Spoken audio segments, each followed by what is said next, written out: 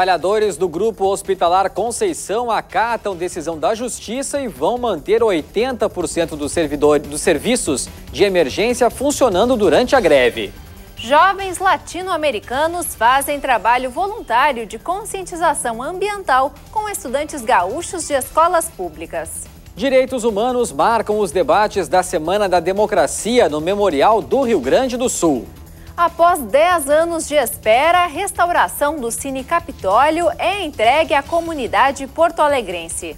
Este é o Jornal da TVE que já está no ar.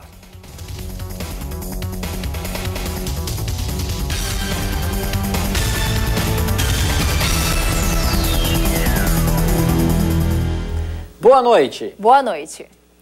Os funcionários do Grupo Hospitalar Conceição estão paralisados há nove dias. Nesta tarde, a categoria acatou a determinação do Tribunal Regional do Trabalho de manter a maior parte dos serviços essenciais funcionando. A greve ainda não tem data para acabar.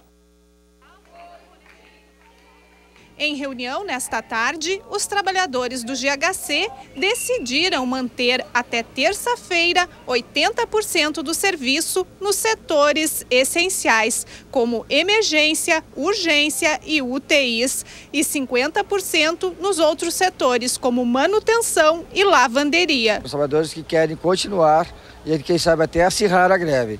Porém, o comando de greve está orientando para acatar o acordado ontem no tribunal, esperando até terça-feira, né, no prazo dado pela, pela, desembargadora, na esperança de que haja alguma proposta boa. Se seguir o, o rumo da intransigência da diretoria e não tiver nenhuma proposta, o ânimo da categoria é de que vai reavaliar, inclusive, esses índices aí e trabalhar daí com os índices que os trabalhadores escolherem aqui na Assembleia.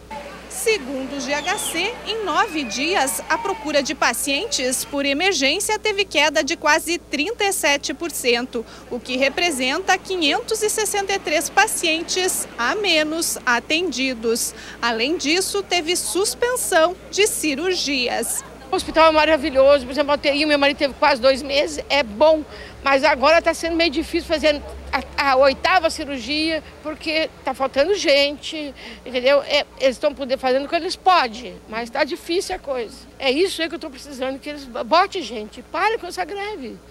Entendeu? Eu quero que todo mundo continue o trabalho. O trabalho tem que ser, nós temos, precisamos deles. A direção do GHC acredita que as negociações avançaram e também a garantia de atendimento à população. A saúde é um direito humano inalienável, portanto, nós consideramos que essas situações ocorridas até ontem deverão ser muito minoradas de agora em diante e, e, temos a expectativa muito objetiva que com o retorno dos trabalhadores à sua atividade eh, funcional de forma eh, gradualmente eh, visando a normalização, teremos de volta toda a atenção que o Grupo Conceição presta à população de Porto Alegre do estado do Rio Grande do Sul. E os trabalhadores do Hospital de Clínicas de Porto Alegre também vão cruzar os braços entre segunda e quarta-feira da próxima semana. Eles reivindicam aumento de salário, melhores condições de trabalho e o fim das terceirizações de serviços na instituição. Se as negociações com a direção do HC não evoluírem, a categoria ameaça parar por tempo indeterminado. As passagens de ônibus da capital vão ficar 15 centavos mais caras a partir de segunda-feira. O reajuste é de 5,66%. A tarifa foi sancionada hoje pelo prefeito José Fortunati. A nova planilha foi discutida durante 15 meses no Tribunal de Contas do Estado, com os auditores, Ministério Público do Tribunal de Contas, e chegamos a uma planilha técnica. O que eu fiz foi simplesmente adotar esta planilha técnica, de acordo com o peso de cada um dos itens. O que é importante? No preço final, nós estamos concedendo um reajuste inferior à inflação do período. E por isso a passagem passa a vigorar a partir de segunda-feira em R$ 2,95. A passagem das lotações também será reajustada, passando de R$ 4,20 para R$ 4,40. E a tarifa dos táxis na capital gaúcha também pode ser reajustada em 8%. A referência é o Índice Geral de Preços ao Mercado.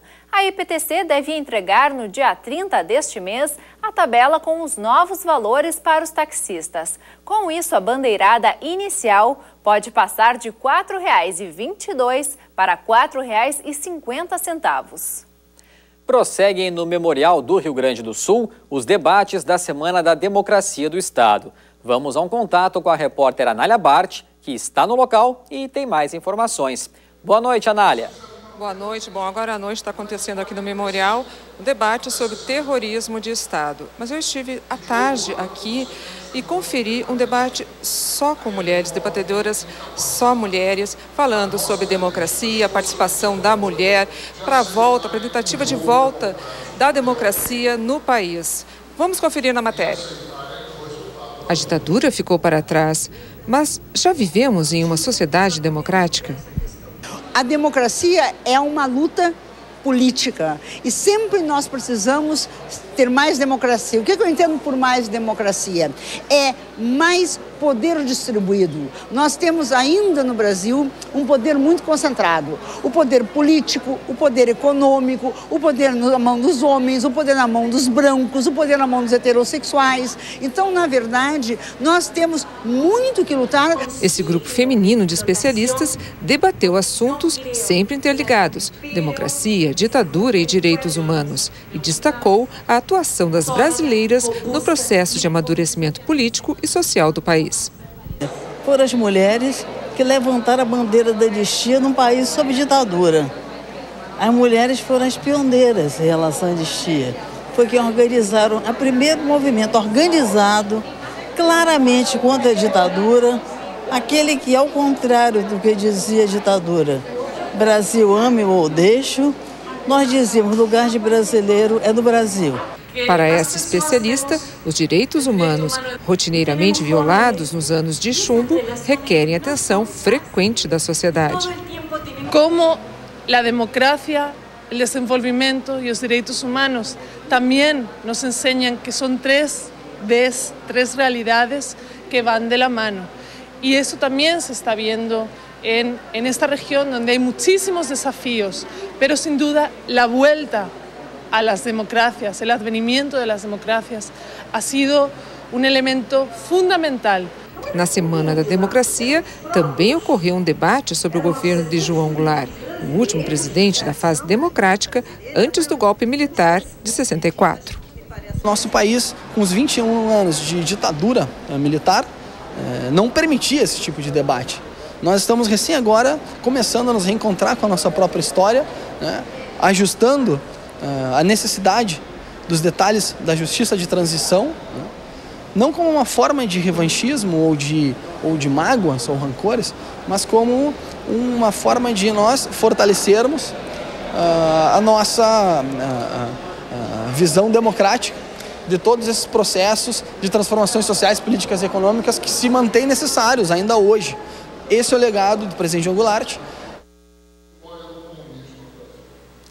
Bom, o debate uh, com a participação dessas mulheres também contou com a presença da militante uruguaia Lilian Celiberti. Lilian, que foi sequestrada em 1978 aqui em Porto Alegre pela Operação Condor, uma sistemática de repressão aos opositores de regimes ditatoriais na América do Sul. Mas agora nós podemos falar com a Lilian. Lilian, tem sempre que lembrar do passado para que não se repita, né?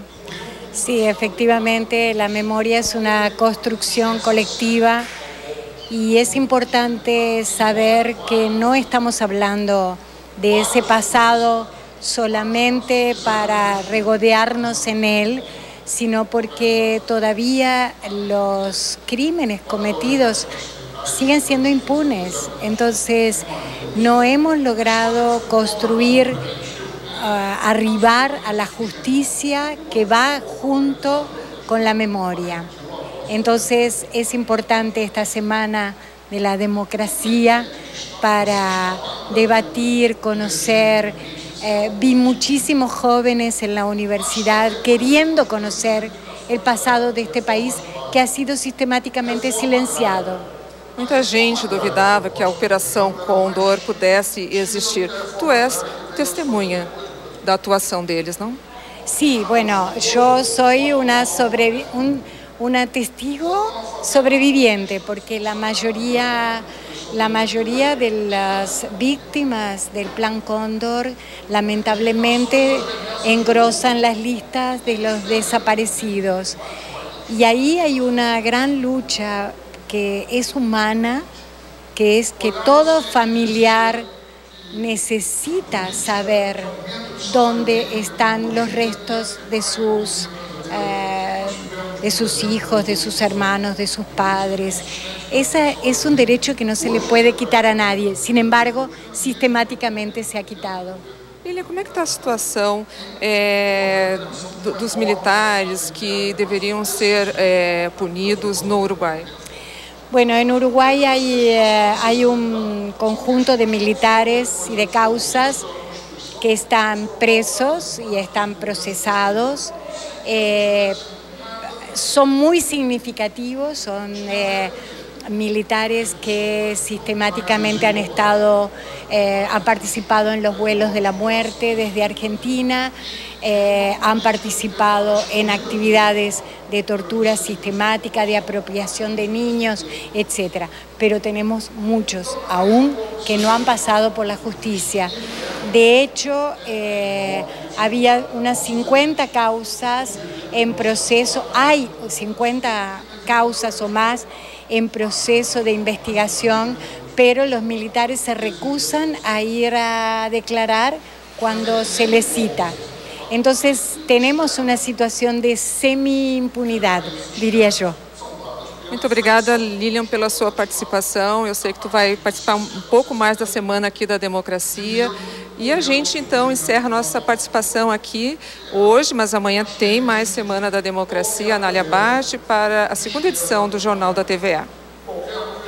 Obrigada, Anália. Veja a seguir.